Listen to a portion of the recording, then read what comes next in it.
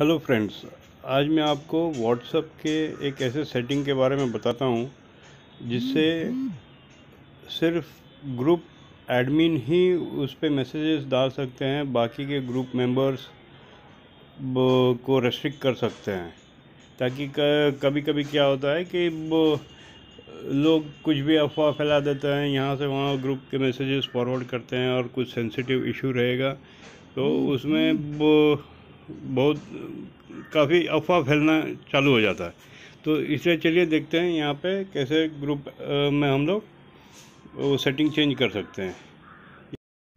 तो आपको जिस ग्रुप की सेटिंग चेंज करनी है, उस ग्रुप में जाइए। वहाँ पे ऊपर राइट हैंड कॉर्नर में तीन डॉट्स है, वो तीन डॉट्स में आप क्लिक कीजिए तो वहाँ पे ग्रुप इन्फो आएगा। तो ग्रुप इन्फो को क्लिक कीजिए तो फिर नीचे ग्रुप सेटिंग्स आएगा। ग्रुप सेटिंग्स में सेंड मैसेजेस को क्लिक कीजिए। सेंड मैसेजेस में आपको choose who can send messages to the group उसमें आप all participants and group admins तो ग्रुप एडमिन्स क्लिक कर देंगे तो फिर ये ओनली ग्रुप एडमिन्स ही उसमें मैसेजेस सेंड कर सकते हैं। बाकी पार्टिसिपेंट्स आप रेस्ट्रिक्ट कर सकते हो।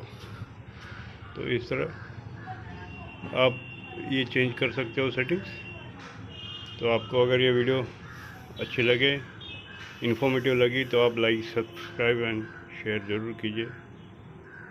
Thank you